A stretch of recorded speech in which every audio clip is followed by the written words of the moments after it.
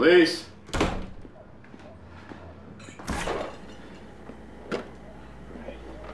Honey, dehydrated. Do we have anything with electrolytes? Sleeping Beauty, wake up.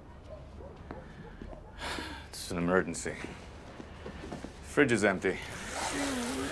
Come on, it's almost four. Elise, sweetie. Call Jacques. Tell him I'm not feeling well.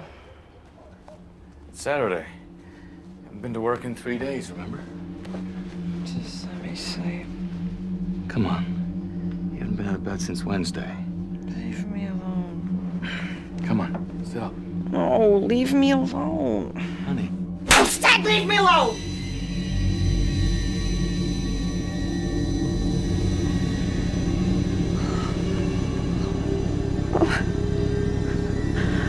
There's something wrong with me. She's been averaging 18 hours sleep a day since her admission. Clinical depression.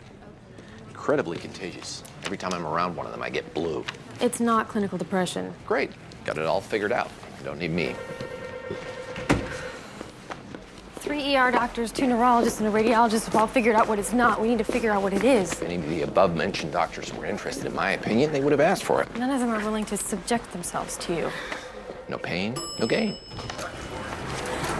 The blood work shows no signs of inflammation, and no one can figure out what's actually the cause of. Ah. What? Husband described her as being unusually irritable recently. And? I didn't realize it was possible for a woman to be unusually irritable. Nice try, but you're a misanthrope, not a misogynist. What's the first thing you ask a doctor who's referring a patient? Are you questioning my ability to take a history? What's the primary. Not what, why. Diseases don't have motives. No, but doctors do. Why this patient? What interests you? Give me the chart. Why? I find your interest interesting. A tumor. We don't know. We're checking just to be safe. You already checked for that. The previous MRI had a broader view. Some tumors are almost impossible to see unless you know exactly where to look. That means it would be small, right? Yeah. Then you'd be able to operate. Take it out. If it's a tumor, there are a variety of treatment options, but there are variables other than just size. Don't worry. Too late.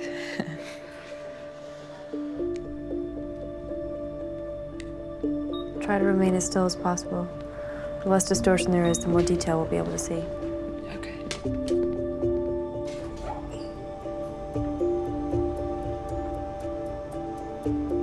There were no lesions and no mass effect that we could see. What does that mean? It means we're still not sure what's causing the neurological problems. I know. Some things are hard to cure. But what I just don't get is why it's taking so long to figure out what's wrong with her. I know you're scared. I would be too. I don't feel good. You feeling nauseous? Honey, you all right? She's seizing! Side. I need some Ativan! I'll get her. What's happened? She's having a seizure. She's aspirating. Suction.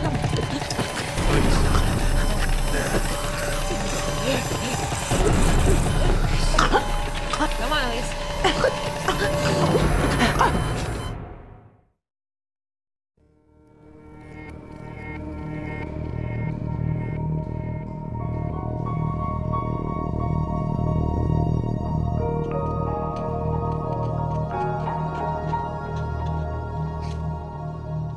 MRI reveals nothing. That we were able to detect. It's not a tumor. A small glioma could hide from contrast. We could do a PET scan. Yes, that's how a responsible doctor would waste his time in this situation. Suddenly, tests and radiologists aren't capable of error? A glioma not presenting on a contrast MRI would have to be smaller than a grain of sand, which does not a gravely ill person make. It could be just post-ictal disorientation. We would have seen improvement by now. Late-stage Lyme disease can cause seizures. Does the husband care about her? He hasn't left her bedside. Annoying. It also means she doesn't have Lyme disease. What, love conquers all? Lyme disease initially presents with a rash. Mr. Clingy would have noticed. We've looked at everything else. Did you look at her breasts? Man, It Could be paraneoplastic. Does she have any family history of breast cancer? Her mother died of it. The brain, but not the brain. Clever, huh?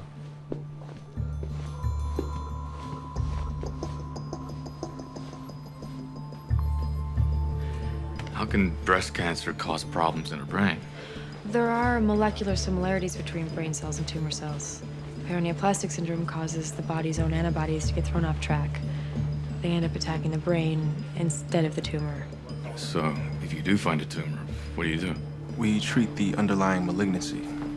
Once there's no tumor to attack, there's nothing for the antibodies to get confused about. If the tumor's treatable. Exactly.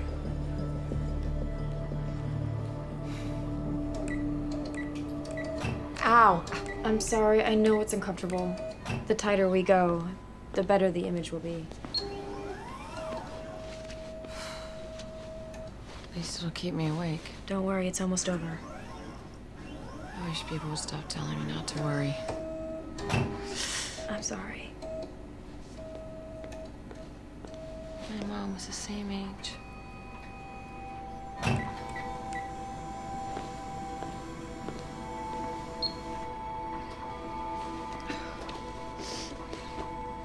We've been trying to get pregnant for over a year. Guess we're lucky we didn't. A lot has changed since your mom died. Don't worry. Don't give up.